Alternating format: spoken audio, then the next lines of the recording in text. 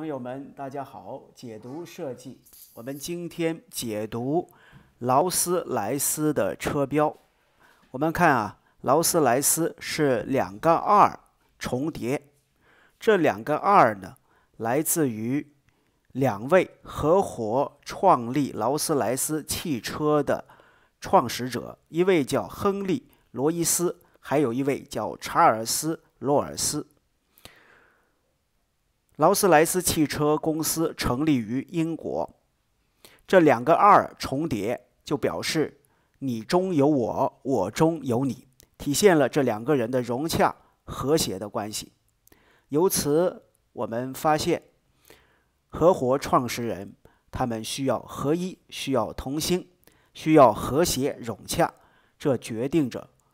公司是否发展的好，非常的重要。